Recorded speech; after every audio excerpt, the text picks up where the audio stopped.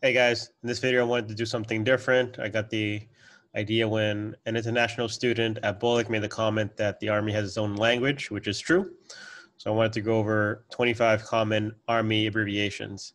Now these abbreviations may be biased towards officers since I've, from my experience, I've gone through OCS and BOLC, but nonetheless are applicable to anyone who is new to the Army. So we'll get started. All right, first, TTPs,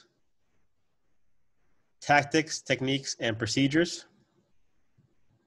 PCS, permanent change of station. PMCS,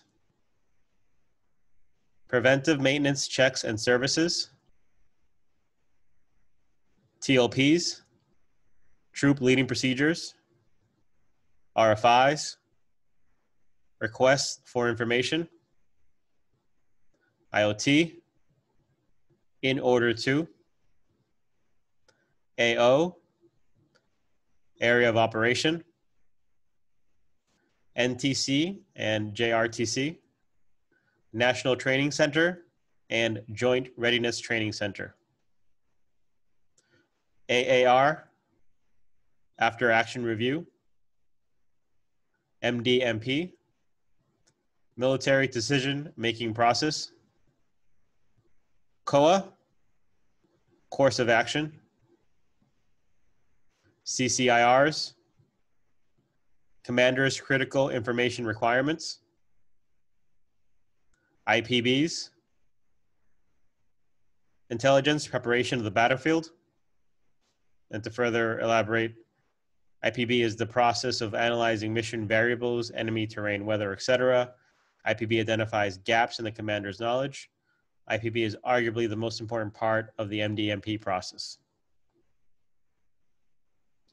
PIRs, priority intelligence requirement, and that's intelligence requirement that the commander needs to understand the enemy or the operational environment. MCOO, modified combined obstacle overlay. UCMJ, Uniform Code of Military Justice.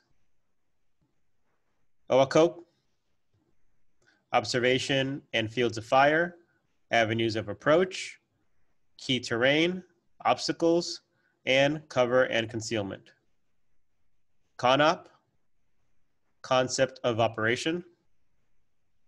METT-TC, mission, enemy, terrain and weather, troops and support, time available, and civil consider considerations. LNO, liaison officer,